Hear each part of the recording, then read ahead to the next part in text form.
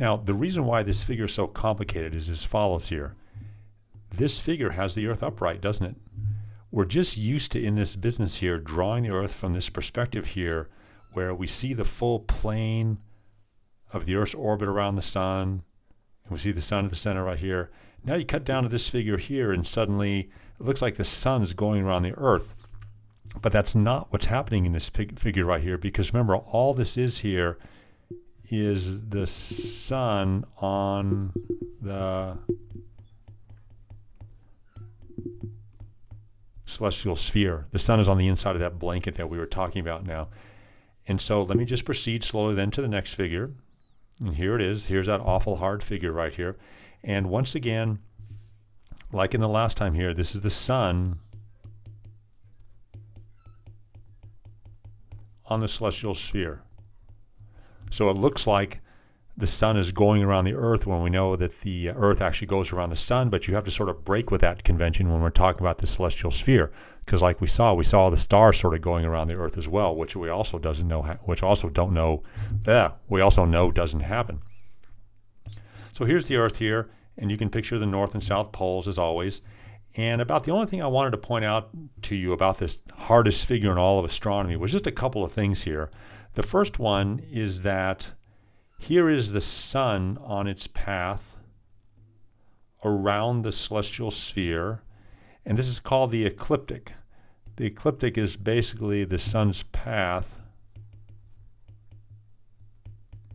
in the sky, and so we sort of see that going on. And the second thing I'd like to point out is this circle right here And can anyone sort of listening maybe tell me what that is, that blue circle there? Going once, twice, three times? Well, that's the celestial equator, right? Because it's this line, that here's the Earth's real equator. And remember, we said the celestial equator is the equator of the celestial sphere going up like that. And so the last thing I'll point out on this hardest figure in all of astronomy is these intersection points right here. So when the sun makes it to this point right here, notice that it's just over the equator. And what is it about this point right here? It's where the ecliptic intersects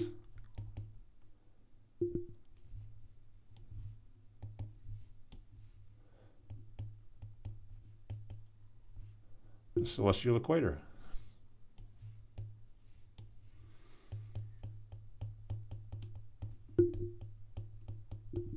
That's another interpretation for the time we get an equinox. The sun is over the equator, and we know that, and this is going to be the vernal equinox, or also known as fall for us here. That's the fall equinox right here. And the other part about it is in space, in the great sort of intersection of the solar system, it's where the celestial equator, this blue line right here, intersects the ecliptic of the sun. That's where we get an equinox. And likewise on the other side as well, right there, another intersection point between the ecliptic and the celestial equator. So every time I teach astronomy, I dive a bit deeper into this figure. That's about as deep as I'm going to go this year. And so the fun part also about the sun on the celestial sphere is when we can wrap it up into the drawings that we had earlier with how to do with stars. Now this is purely just a star on the celestial sphere or many stars for that matter here. But what we pointed out in one of the last videos when we are working on the worksheet here is here's the equator at zero degrees. And here's a star here whose declination was at 25 degrees. Star's declination. Declination of 25 degrees. And I think we said something like the declination of this star is 80 and the declination of this pole star Polaris is 90 degrees, something like that. And the stars, for the stars here, the declinations the declinations are always fixed. They are never, never, never going to change no matter what because they're just sort of fixed in the sky. But it's not so for the sun. So again, before I leave the slide, let me just point out again, this star is on the celestial equator at zero degrees. This star is up at 25 degrees. This star has a declination of 80 and 90. And the stars, these declinations will always be like that. The North Star will always have a declination of 90 degrees, and this star will always be over the celestial equator. But as you go to the sun, see, that's not true anymore. Here's some images of the sun over the course of the year, and you can see its declination wandering all over the celestial sphere. Like this line here, for example, would be the zero degree line, the celestial equator, and that's where the sun rises due east and sets due west. So this is what happens sort of basically, as you know, now where our equinoxes are. Right? That's where the declination of the sun is here at zero degrees. But at other times of the year, probably like at the solstice, can't spell solstice today. Yeah, definitely can't spell it. At the solstice here, the sun has a declination of plus 23 and a half, as we discussed. And on the other solstice over here, the sun has a declination of like minus 23 and a half. So see, the sun wanders all over this celestial sphere in terms of its declination. It does absolutely not stay on the same line the way an individual star, were, star would. The sun is all over the place. And that's what's kind of confusing about the sun, is you definitely say the sun sort of wanders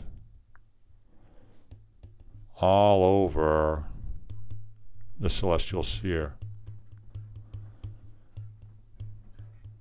For sure. Sort of a difficult one to track, but that's just the way it goes if you want to use the celestial sphere model. Okay? And lastly, I'll just make one more point here about some architecture.